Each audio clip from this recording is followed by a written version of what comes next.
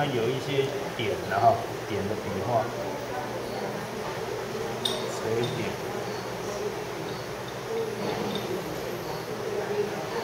水部的点。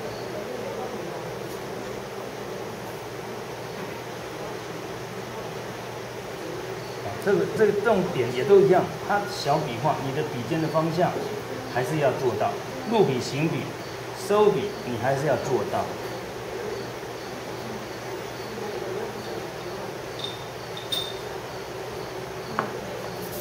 所以这样来写字，应该都会比较讲究用笔的技巧啊，讲究用笔的技巧。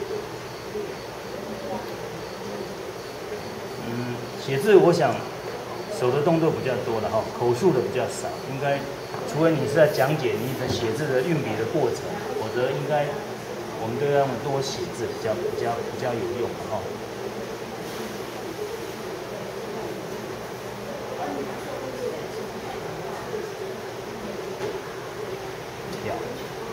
撇挑，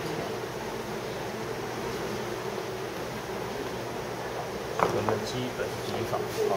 那这这些笔画的形状，我不是要你写的跟我一样，但是你要跟我一样的地方就是毛笔笔尖的方向要控制对，好，控制对。你写写这个竖曲钩，笔尖要做对，好，写这个横钩，你就要写，就一定要把它做对，好，笔尖的方向。那我们来写单字。